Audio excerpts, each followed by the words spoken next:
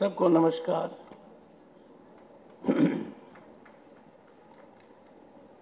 हरिजन सेवक संघ के अध्यक्ष, professor doctor Shankar Kumar Sanjal ji, president Parmarth Niketan Rishikesh, पूज्य Swami Chidanand Saraswati ji Padma Bhushan doctor Bindeshwar Pathak ji founder of Sulabh Sulabh sanitation Shri Lakshmi Das former chairman के and vice president Harijan Sevak Sangh, Shri Naresh Yadav vice president Harijan Sevak Sangh, Shri Kunwar Shekhar Vijendra chancellor Shobhit university and chairman association national council on education उपस्थित महानुभाव। महात्मा गांधी जी एक नाम नहीं थे, वो एक सोच थी। गांधी जी की सोच ने दुनिया को प्रभावित किया है। आज तक कोई भी गांधी जी की विचारधारा के विपरीत बोल नहीं सका है।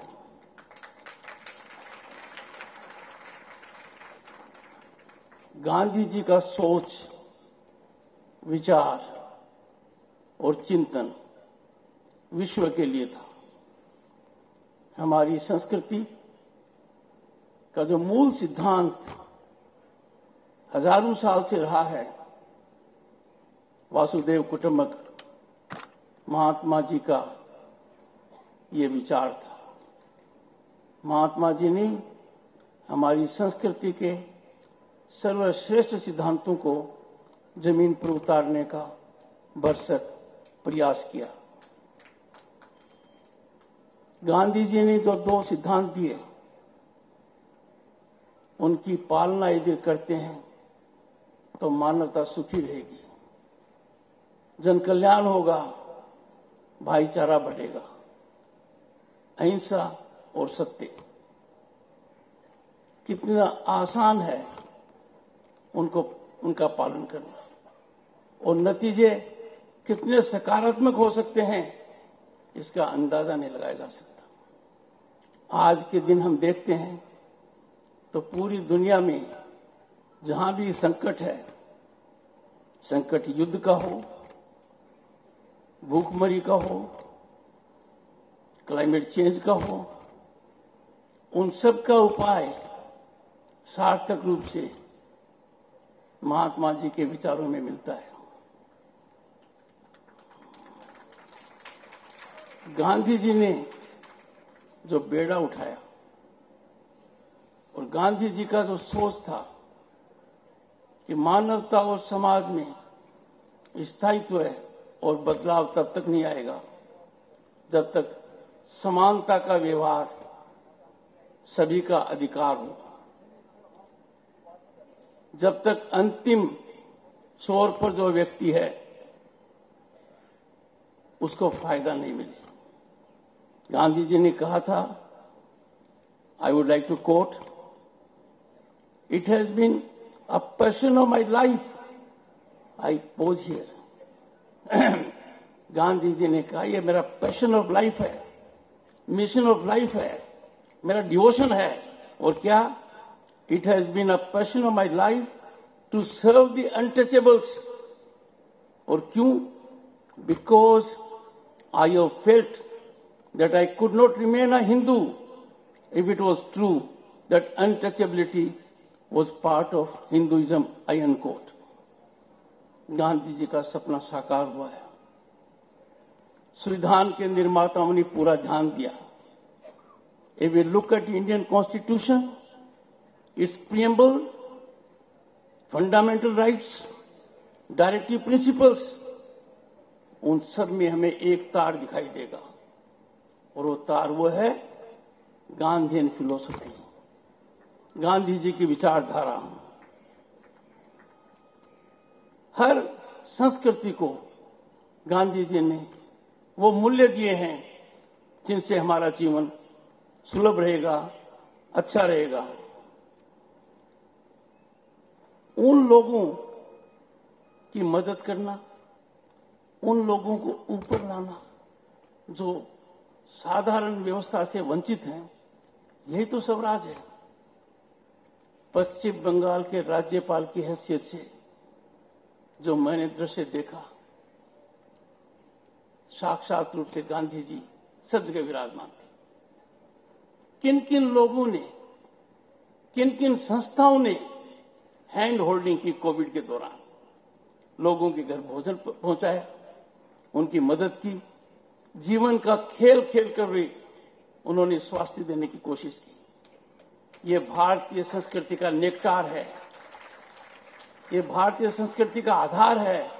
मूल मंत्र है, जिस व्यक्ति की आर्थिक स्थिति ज़्यादा नहीं है, वो भी दूसरे की पीड़ा समझते हुए कोविड के दौरान मदद की है। ऐसा दुनिया में कहीं नहीं हुआ।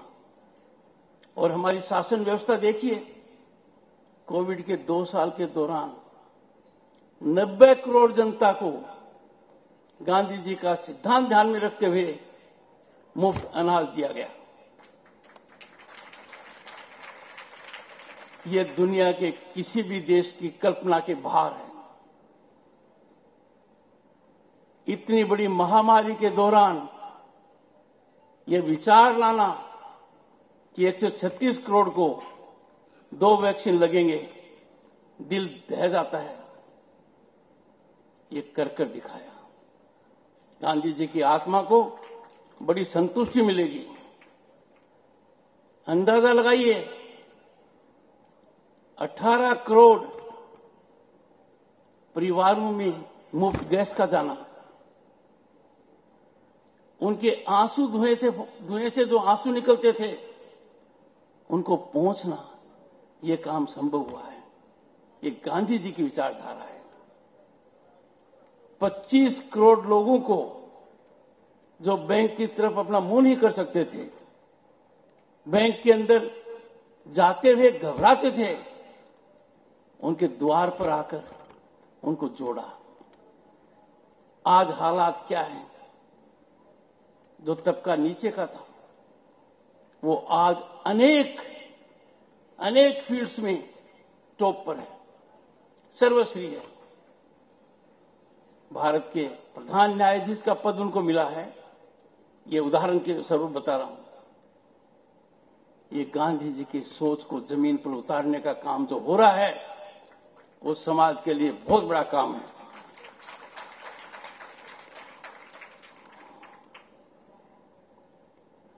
डॉक्टर अंबेडकर का एक भाषण और जो भाषण संविधान सभा में उनका अंतिम भाषण था। अंतिम भाषण की एक अहमियत ही अलग होती है। जिस वर्ग से वो आते थे, उसका भी महत्व है। और डॉक्टर अंबेडकर ने क्या कहा? I quote political democracy can not last unless there lies at the base of its social democracy unquote. कितनी बड़ी बात कही है सोशल डेमोक्रेसी नहीं होगी तो पॉलिटिकल डेमोक्रेसी सर्वाइव नहीं कर सकती। अब ये ज़मीन पर उतर रही है।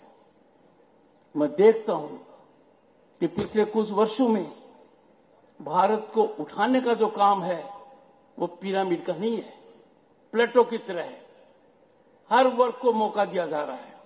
हर वर्ग का काम उस तरीके से हो रहा है कि भारत प्रगति के रास्ते पर भारत की जर्नी बिना बात आगे नहीं बढ़ी है। आज हम दुनिया की फिफ्थ लार्जेस्ट इकोनॉमी है। ये सौभाग्य हमें पिछले कुछ दिन में मिला है। फिफ्थ लार्जेस्ट इकोनॉमी इसके अंदर योगदान किसका है? किसान का, मजदूर का, उन व्यक्तियों का जिनको पहले समाज के अंतिम छोर पर माना जाता था, उनका योगदान सबसे ज़्यादा है। और मुझे कोई शक नहीं है कि इस दशक के अंत तक we shall be the third largest economy in the world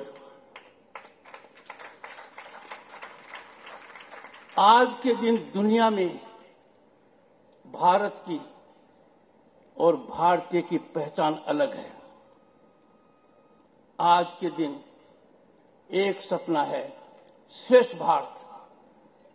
और उस सपने का एक आधार है वी वर दी बेस्ट हज़ारों साल पहले जाएँगे our institutions our culture our infrastructure was unrivalled in the world हम उस ओर अग्रसर हैं।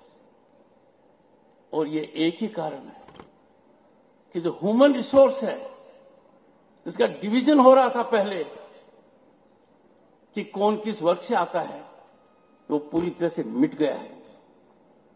आगे अपने अंतिम भाषण में डॉक्टर अंबेडकर ने कहा I quote without equality liberty would produce the supremacy of the few over the many Equality without liberty would kill individual initiative without fraternity liberty, equality could not become a natural course of things. It would require a constable to enforce them. Unquote. आज के दिन छोटी छोटी बातों में भी चाहे car के ऊपर रेड लाइट हो हर चीज़ के अंदर सबको बराबर रख दिया गया है। और इससे बड़ा गांधी जी के प्रति कोई ट्रिब्यूट नहीं हो सकता। गांधी जी का जो सोच था, वो सोच आज के दिन जमीनी हकीकत है। और जो सरकार के द्वारा कहा जाता है, सबका साथ, सबका विकास, सबका विश्वास, सबका प्रयास, ये गांधीन थॉट है। This is not political this is national this is rising about all politics Gandhi ji ने कभी भी दूसरे विचार को झटके में मना नहीं किया he was always open to the other point of view आज के दिन कुछ वर्ग में एक संस्कृति आ गई है कि मेरा विचार ही सही है दूसरे के विचार को मैं सुनू क्यों? This is a very dangerous trend कानून के सामने कोई कितना ही बड़ा व्यक्ति हो, कितनी उसकी हिस्ट्री हो, कितनी ताकत हो, आर्थिक, सामाजिक और राजनीतिक, सब कानून के सिकंजे में कानून को अपना काम करना पड़ेगा। और यही भारत और भारतीयता भारतीयता को विश्व में एक नया नाम देगा। आज के दिन, अंत में मैं ये कहूँगा we have developed a ecosystem a very health eco system a eco system that promotes every talent explored every potential और इसलिए मैं कहता हूँ it is gratifying to note that in recent years there is emergence of ecosystem system that affirmatively in conscience with Gandhian philosophy ensuring full exploitation of potential and talent of all, particularly of the marginalized sections of the society. अंत में एक बात कहूँगा शुद्ध भाव से कह रहा हूँ क्रिटिसिज्म नहीं है it should be taken in the spirit of positivity in which I am saying. This is a huge premise. This should be a nerve center. This should be a positive epicenter of disseminating Gandhian thought all over the world. Every inch of this place must be fully utilized. And every day at this place must be eventful. Any footfall here will please the person.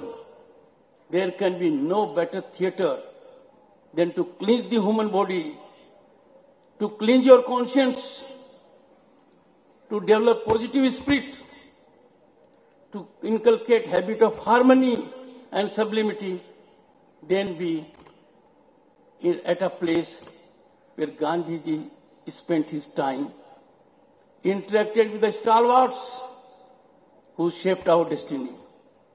I am sure there will be a blueprint in time to come.